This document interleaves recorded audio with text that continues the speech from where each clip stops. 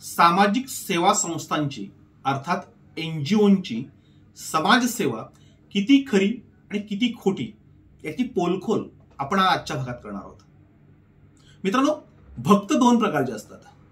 एक अंधभक्त आणि एक मंद भक्त जे अंधभक्त असतात ते आपल्या नेत्यावर आंधळेपणाने विश्वास ठेवतात केवळ स्वार्थासाठी. त्यांच्या मनामध्ये स्वार्थ असतो. त्यांना काहीतरी मिळवायचं असतं. ते कुठल्या तरी पदावर असतात. ते आपल्या नेत्याला खुश करण्यासाठी आपल्या पक्षाला खुश करण्यासाठी ती सतत अंधभक्ताप्रमाणे वागतात. तो त्यांचा दोष नसतो. तिथे त्यांचा स्वार्थ असतो. पण मंदभक्त जे असतात ना मंद म्हणजे मूर्ख किंवा अर्धवट एक आटा ढिला हे जे मंदभक्त असतात ना त्यांना कुठलाही स्वार्थ नसतो. त्यांना काहीही सांगितलं तर त्यांना विचार न करता ते ऐकण्याची आणि त्याप्रमाणे वागण्याची सवय असते. म्हणजे आपला नेता आपला पुढारी आपली संस्था नेमकं काय करते याच्याबाबत कुठलीही माहिती न घेता ते त्यांचं प्रचारकी थटाचं काम करतात. म्हणजे व्हॉट्सअपवर फेसबुकवर किंवा सोशल मीडियावर सातत्याने ते आपल्या नेत्याचा उदो उदो करण्याच्या थाटामध्ये आपला मंदपणा जगजही करत असतात. जे खरं काय खोटं काय याची पडताळी ते कधीच करत नाही. म्हणजे थोडाही विचार ते करत नाही आहेत आणि तेव्हा ते कसे फसतात ते बघा. आज सकाळीच मशाल कार्यालयामध्ये काही एनजीओचे पदाधिकारी आले. त्यांनी आयालाच सांगितलं की आमची एवढी मोठ्या प्रमाणावर समाजसेवा सुरू आहे. सामाजिक कार्य एवढ्या मोठ्या प्रमाणात आहे आणि तुम्ही तुमच्या चॅनलवर किंवा तुमच्या वृत्तपत्रामध्ये बातम्या छापत नाही आहात. आम्ही तुम्हाला रोज तुमच्या व्हॉट्सअपवर फोटो व्हिडिओ बातम्या पाठवतोय. पण तुम्ही ते छापत नाही आहेत कारण काय? सगळे पत्रकार छापतायत.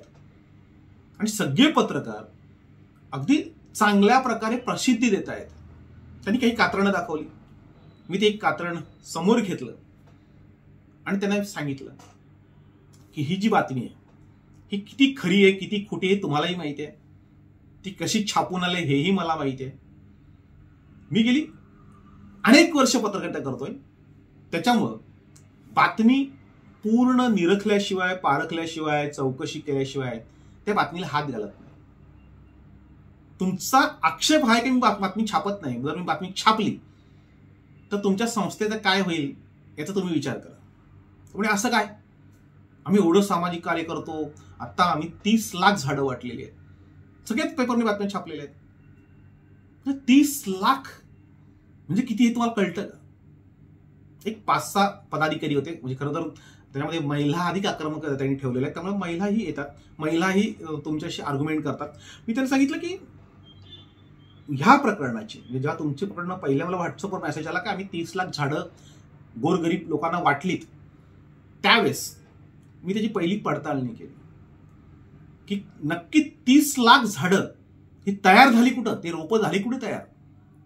पालघर जिल्ह्यामध्ये तुम्ही ज्या पद्धतीने ही झाडं वाटली असं सांगताय त्या पालघर जिल्ह्याची लोकसंख्या तिथे असलेल्या ग्रामपंचायती त्यांच्याकडे एकूणच जी काही वाटणी झालेली आहे ज्या पद्धतीने तुम्ही झाडांचं वाटप दाखवलेलं आहे ते कसं केलं हे तुम्हाला तरी माहिती आहे का? ते गप्प झाले. मी त्यांना सांगितलं की तुम्ही मंद भक्तात. आता मी तोंडावर बोलतो त्याच्यामुळे त्यांना काही राग येवो हो, कसं हो, मला माहीत नाही. पण ते ज्या पद्धतीने सांगायला आले होते ती पद्धत चुकीची होती. आणि त्यांना त्यांचे डोळे उघडणं मला गरजेचं होतं. म्हणून त्यांना मी सांगितलं की एक लक्षात घ्या तुम्ही तीस लाख झाडं वाटली. ही जेव्हा बातमी माझ्याकडे आली तेव्हा प्रथम पत्रकार म्हणून मी त्याचा विचार केला की तीस लाख झाडं ही साधारणतः कुठे तयार झाली असतील? कारण ही तीस लाख झाडं तयार करायला तुम्हाला आधी ऑर्डर द्यावी लागली असेल. ती कोणत्या नर्सरीला तुम्ही ऑर्डर दिली? ही झाडं नेमकं आली कुठून? तेव्हा लक्षात आलं ही एवढ्या मोठ्या प्रमाणावर झाडं पालघर जिल्ह्यामध्ये आलेली नाहीत. ती कोणी तयार केलेली नाही असतील तर तुम्ही मला पावती दाखवा. तुमच्याकडे पावती आहे का? तीस लाख झाडांची. ती कोणी तयार केली का? कोणती नर्सरी होती तुम्ही सांगू शकता का? त्यांच्याकडे त्याचं उत्तर नव्हतं. मी सगळं थोडा विचार करा. तुमचं जे झाड आहे म्हणजे आपण आता कोणतंही झाड जे विकत घेतोय त्याची सरासरी किंमत किती माहिती? म्हणजे पंचवीस रुपयापासून तर दोनशे तीनशे रुपयापर्यंत ही झाडं असतात. आपण तुमची सामाजिक संस्था आहे. तुम्हाला कदाचित कमीमध्ये मिळतील असं समजू किंवा तुम्ही तयार केली असं समजू तरी एका झाडाला सरासरी चाळीस रुपये खर्च येतो. बरोबर? त्यांनी हो सांगितलं. म्हणजे चाळीस रुपये चाळीस गुणिले तीस लाख. किती आकडा होता बघा. त्यांनी मोबाईलवर आकडेवारी केली. म्हणजे बारा कोटी. बारा कोटी रुपये. तुमच्या संस्थेकडे आले कुठून? याचं मला उत्तर द्या. ते कोणीतरी तुम्हाला द्यायला पाहिजेत. किंवा ते तुमच्याकडे आले असतील तर भ्रष्टाचारातून आले असतील. काहीतरी घोटाळा केला असेल कोणातरी लुबाडला असेल कोणातरी बुडवलं असेल कोणातरी पैसे खाल्ले असतील असंच काहीतरी असेल ना? त्याच्याशिवाय बारा कोटी तुमच्याकडे येणार नाही. एक तर ते आलेले नाहीत आणि आलेले असतील तर ते ह्याच पद्धतीने येतील. कारण फॉरेस्टमध्ये जे वन खातं झाडं होतं त्यांच्याकडे एवढा निधी उपलब्ध नाही आहे तुम्ही एका जिल्ह्यामध्ये बारा कोटी रुपयांची झाडं विकत घेत आहे बारा कोटी आले कुठून? तुमचं उत्पन्नाचं साधन काय? तुमची संस्था नेमकी करते काय? मी प्रश्नांचा भडीमार केला. आणि एक एक माणूस त्याच्यातला जे सगळेजण होते ते हळूहळू हळू नरम व्हायला लागले. मी त्यांना सांगितलं कुठल्याही सेवा संस्थेचं सामाजिक संस्थेचं जर तुम्ही काम करताय तर थोडं विचार करायला शिका. तर पालघर जिल्ह्यामध्ये तुम्ही सांगता तीस लाख झाडं वाटली. मला सांगा पालघर जिल्ह्याची लोकसंख्या तुम्हाला माहिती पालघर जिल्ह्याची लोकसंख्या आहे पस्तीस लाख. त्याच्यापैकी अर्धी अधिक शहरी आहे. म्हणजे वसई जर तालुका बघितला तो शहरी पालघर शहरी आणि ग्रामीण भाग जो आहे त्याच्यामध्ये फक्त आपल्याकडे चारशे त्र्याहत्तर ग्रामपंचायती आहेत आणि एक हजार आठ गावं आहेत. धरून चला. तीस लाख झाडं जर वाटायची झाली तर एक हजार आठ गावांमध्ये ती वाटताना दोन हजार सातशे शहाण्णव झाडं ही प्रत्येक गावात जायला पाहिजे बरोबर?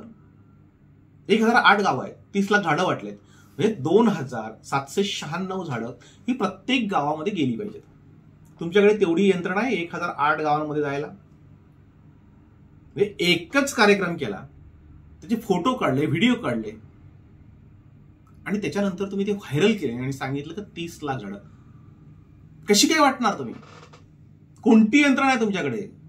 आहेत गावोगावी कार्यकर्ते आहेत गावोगावी सामाजिक संस्थेची काही नोंदणी आहे की ती लोक तिथपर्यंत पोहोचवतील अशी काही यंत्रणा आहे? आता आपल्याकडे ग्रामपंचायती जर चारशे त्र्याहत्तर आहेत तर प्रत्येक ग्रामपंचायतीला सहा हजार तीनशे बेचाळीस झाडंही झाली पाहिजेत.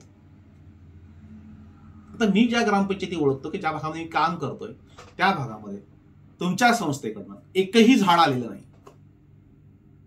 लागलं तर मी पाच सहा सरपंचांना फोन करतो त्यांना विचारतो. कारण एका ग्रामपंचायतीच्या हद्दीमध्ये दहा बारा पाडे असतात. म्हणजे सरपंचाला माहिती आहे आमच्याकडे झाडं आलीत का नाही आलीत.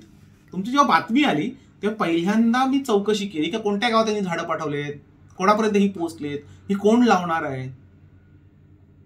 हळूहळू ती लोक माझ्या मताशी सहमत झाली. अरे हा हा विचार आम्ही केलाच नाही. जे सामाजिक संस्था चालवताना आपण जेव्हा एखादा आकडा सांगतो त्यावेळेस त्या आकड्याला साजेशी जी गोष्ट आहे ती आपल्या लक्षात आली पाहिजे. की पालघर जिल्ह्यात तीस लाख झाडं वाटली. एकूण गावं किती? गावामध्ये ग्रामपंचायती किती? त्यांच्याकडे पोहोचवण्याची तुमची यंत्रणा काय? आणि सर समजा आपल्या संस्थेने जर तेवढी तीस लाख झाडं विकत घेतली असतील तर त्याच्याकडे आपल्याला पावत्या असतील. कोणत्या नर्सरीतून आणली? मला पावती दाखवा तुम्ही. तुम्हाला ही झाडं. माझ्या चौकशीमध्ये तुम्हाला सांगतो. बऱ्याचशा सामाजिक संस्था आहेत. बरेचसे क्लब्स आहेत. म्हणजे रोटरी क्लब असेल का आणखीन कोणते कोणते क्लब आहेत. हे ग्रामीण भागामध्ये काही वस्ता पाठवतात. तुम्ही काय करता? त्यांच्याकडून त्या घेता. फुकटमध्ये. त्या तुमच्यापर्यंत येतात फुकटपर्यंत. तुम्ही कोणत्या तरी गावामध्ये जाता फोटो काढता व्हिडिओ काढता पाच सहा ठिकाणी असे कार्यक्रम होतात. आणि चार पाच हजार झाडं वाटतात. आणि चार पाच हजार झाडं वाटल्यानंतर तो आकडा तीस लाखांपर्यंत पोहोचवतो. आणि तो तीस लाख संस्था सांगते. आणि मग तुम्ही गाजावाजा करायला तुम्ही सगळ्या पोस्ट व्हायरल करायला तुम्ही उदो उदो करायला मोकळे होता. म्हणजे कला खरं तर मंद भक्तांची कीव येते. तुम्ही सगळे जे आहात ना ते मंद भक्त नेते सांगतात ना तसे तुम्ही वागताय? म्हणजे खरं काय खोटं काही तपासतच नाही माझ्याकडे एक सिस्टीम आहे. आमच्याकडे बातमी आल्यानंतर तिचा प्रत्येक शब्द न शब्द तपासला जातो. काही पत्रकार ते करत नाही त्यांना रेडीमेड बातमी आणि फोटो लागतो. त्यांना व्हिडिओ पाठवला बातमी पाठवली की ते छापतात. असे सगळेच पत्रकार करत नाही ते पाच दोन टक्के असतात. हे जी लोक जे आहेत दोन पाच टक्के यांच्यामुळं पत्रकारिता बदनाम झाले. ते विचारच नाही करत. की या संस्थेने जर एवढं काम केलं असेल तर ते आपल्याला दिसलं पाहिजे. कारण डोळ्यासमोर गावं आणायला पाहिजे ती ग्रामपंचायती आणायला पाहिजे होत्या. एवढी झाडं कुठं तयार झाली हे बघायला पाहिजे होतं. आणि त्याच्यानंतर बातमी छापायला पाहिजे होती त्याला पत्रकार बोलतात. मित्रांनो ते जे काही बातमी छापा असा आग्रह घेऊन म्हणजे खरं तर ते आक्रमकपणे आले होते की आम्ही एवढी मोठी समाजसेवा करतो आणि तुम्ही त्याची दखलही घेत नाही. मी त्यांना सांगितलं तुम्ही सांगा आम्ही पाच हजार झाडं वाटली. मला ते खरं वाटेल. तुम्ही हजार वाटून पाच हजार सांगितलं ठीक आहे. पण पाच हजार झाडं वाटून तुम्ही तीस लाख सांगताय अशी बातमी कोणत्याही परिस्थितीमध्ये माझ्या वृत्तपत्रामध्ये येणार नाही माझ्या चॅनलवर मी ती दाखवणार नाही. आणि म्हणून तुम्हीही तर सावध व्हा. तुमच्या लक्षात आलं पाहिजे की ही कशासाठी चाललंय. ही लोक आपलं का उदो उदो करून घेतात? आपला का वापर करून घेतात? आपल्याला का पोस्ट व्हायरल करायला लावतात? आता माझ्याकडे लागोपाठ तुमचे एवढे मेसेज आले. म्हणजे सगळ्यांना सांगितलं की शरद पटेलला मेसेज पाठवा म्हणजे शरद पटेल त्याला थोडी जर वाटेल आणि मग तो बातमी छापेल. चुकूनही छापणार नाही.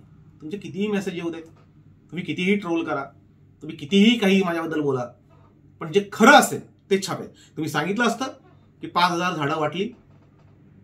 खरं मानून मी चौकशी न करता ती बातमी छापली असती. पण जेव्हा तुम्ही तीस लाख सांगताय तेव्हा माझ्या डोळ्यासमोर हे अनेक प्रश्न उभे राहतात का हा पैसा येतो कुठून तुम्ही आणला कुठून? जे भल्या भल्याना जमत नाही. ते तुम्हाला कसं जमतं? असे प्रश्न माझ्या डोळ्यासमोर आले आणि म्हणून मी बातमी छापली नाही. मित्रांनो ते माझं उत्तर ऐकल्यानंतर आलेले सगळे म्हणजे अगदी त्यामध्ये मुली होत्या महिला होत्या आणि काही त्यांचे पदाधिकारीही होते त्यांना ते सगळं खरं वाटलं आणि त्यांनी सांगितलं की तुम्ही आमचे डोळे उघडले. तुम्ही बरोबर बोललात. हे असं काही झालं नसेल. आम्हालाही काही त्याच्यातलं माहीत नाही. आम्हाला जे ऑफिस सांगतं आम्हाला ज्या पद्धतीने मेसेज येतात त्या पद्धतीने आम्ही ते फॉरवर्ड करतो की ते लोकांना व्हायरल करतो. आमची जबाबदारी तेवढीच असते. आणि म्हणून पुन्हा एकदा जाताना सांगितलं अशा लोकांना मंद भक्त बोलतात. तुम्ही मंद भक्त आहात.